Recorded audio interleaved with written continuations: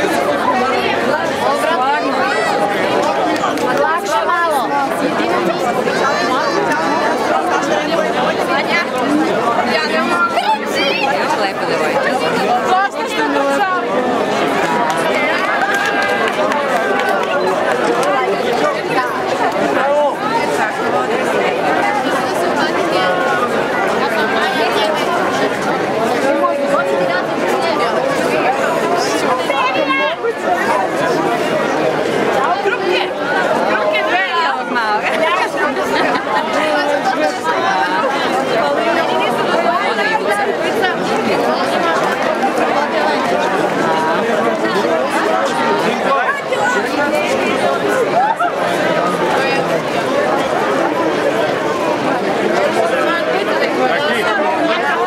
Weil